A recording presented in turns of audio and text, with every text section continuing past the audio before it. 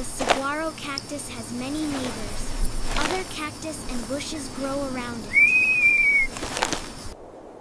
Cholla cactus and creosote thrive close by. Together they shape the desert. The mesquite tree shares its shade. Even the cactus stands near its shelter.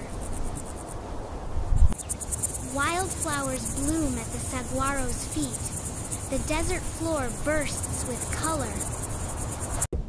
Woodpeckers drill holes in the cactus skin.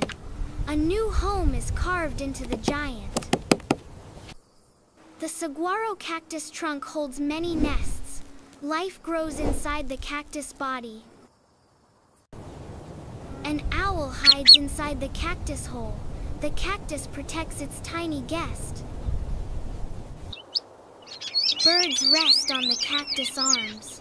Their songs echo through the desert air. Insects buzz around shrubs and blooms. Every plant supports hungry life. The desert is a web of neighbors. Each cactus, tree, and bird belongs here.